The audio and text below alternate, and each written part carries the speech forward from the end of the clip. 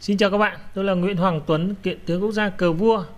Hôm nay thì chúng ta sẽ cùng đến với trận đấu giữa kỳ thủ số 1 Việt Nam Lê Quang Liêm và đại kiện tướng Medad Anesi của Iran tại giải vô địch cờ vua châu Á năm 2007.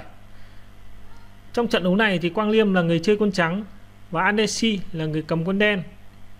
Nếu bạn chưa đăng ký kênh thì đừng quên đăng ký và nhấp vào hình cái chuông để nhận thông báo xem những ván cờ vua mới nhất, hay nhất Mở đầu ván cờ, Medan Anesi đã sử dụng phòng thủ Slaver vô cùng chắc chắn để chống lại kỳ thủ số 1 Việt Nam. Trắng nhảy mã H4, tìm cách tiêu diệt quân tượng F5 đang chĩa sang cánh hậu.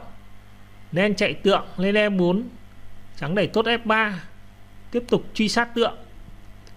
Đen chạy tượng về G6, thấy tượng đen vắng nhà, trắng liền tung hậu lên B3, tấn công vào điểm yếu B7 nên đưa hậu lên C7 phòng thủ.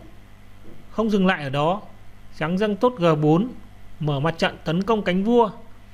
Nên triển khai tượng lên D6, uy hiếp tốt H2 và mở đường cho vua sẵn sàng nhập thành. Trắng hung hãn tràn tốt sang G5 tấn công mã. Theo chúng tôi thì đen nên ăn tốt sang C4 để lấy ô cho mã chạy lên D5. Tuy nhiên đen lại chạy mã về D7. Một nước cờ được đánh giá là không tích cực cho lắm vì nó đã cản đường cho mã B8 xuất trận. Thấy mã đen đã lùi về phía sau, trắng liền ăn tốt sang D5. Đen ăn tốt lên D5. Trắng đẩy tốt F4, giữ vững thế trận và chặn đường tiến công của tượng D6. Đen di chuyển mã lên B6, trắng lên tượng E2, phong tỏa đường chạy của tượng đen. Dình đẩy tốt F5, bắt chết tượng. Đen đối phó bằng nước hậu E7 sẵn sàng ăn vào G5 nếu mà trắng dám cả gan thúc tốt F5 trắng qua xe G1 bảo vệ tốt, tiếp tục đe dọa, tiến tốt F5 thấy nguy, đen vội vàng dâng tốt F5 chặn lại. Trắng ăn tốt vào F6 đen ăn hậu lên F6 trắng ăn mã vào G6 đen ăn tốt lên G6 sau một loạt nước đổi quân loạn xạ bên cánh vua, trắng dâng tốt A4 mở mặt trận tấn công cánh hậu, đe dọa tiến sang A5 đuổi mã để ăn vào B7 nếu để trắng thực hiện ý đồ này thì toàn bộ cánh hậu sẽ bị tan vỡ. Đen vội vàng lùi hậu với E7 phòng thủ.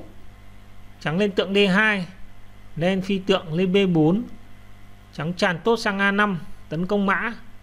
Đen chạy mã về C8 trắng nhập thành dài, đưa xe tham chiến ở trung tâm. Không nhịn được nữa nên ăn xe vào H2 Tuy nhiên, đây lại là một cái bẫy mà Quang Liêm đã răng sẵn. Thấy đen trúng kế, Liêm nhanh chóng thí mã vào D5 tung đòn tấn công mở. Tưởng ngon, nên ăn tượng vào D2 chiếu. Trắng ăn xe lên D2 ở đây mà đen ăn tốt lên D5 thì sẽ bị dính đòn tấn công mở.